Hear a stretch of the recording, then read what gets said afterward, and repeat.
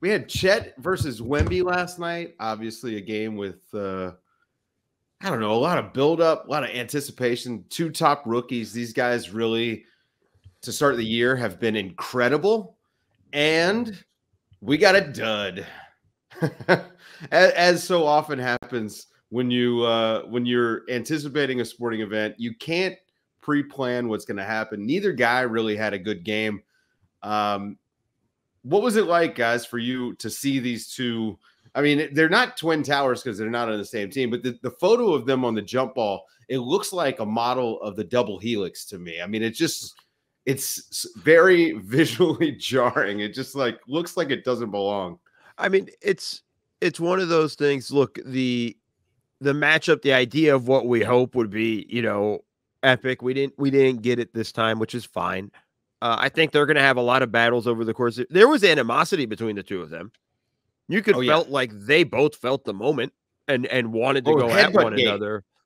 You know, like yeah, headbutt gate from preseason. There was a fun play uh, when the game was pretty much already decided because let's just be honest. Also, the Spurs are way behind the Oklahoma City Thunder in terms of just talent and whatnot. Like I think I texted you guys or another friend group where I just said like this could be a fun Chet versus Wemby thing, but this game's going to be a blowout, and that's exactly what it was.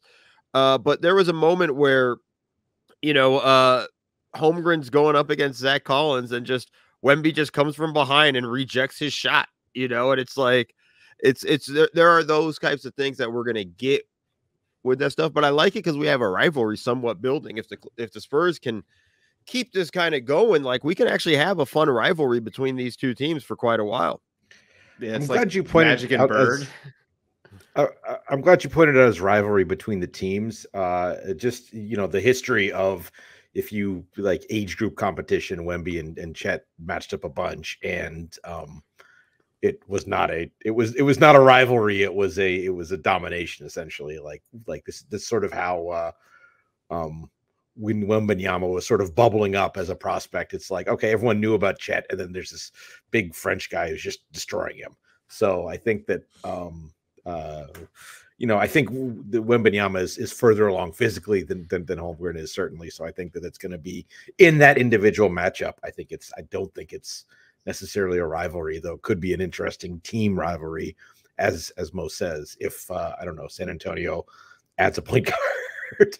I mean we can go into this like we've done it many times, but like, sorry, man, the, the point Sochan thing just isn't going to work. like, it's it's the, the it, what, what's really crushing, and we've said it before.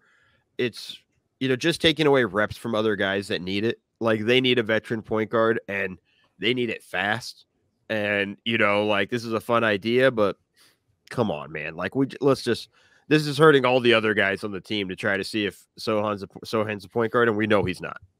I don't mind the experiment, but I think at this point, like you just you you they they struggle so much to get guys in the right spots with the ball um, that I think that that it, it that as Mo says, it's it's you're you're costing yourself quality reps, and the fact that you know it bears out by just how much more efficient they've been with Tre Jones on the court. And Tre Jones is a perfectly fine backupy point guard, but uh, it shouldn't be that much of a of an impact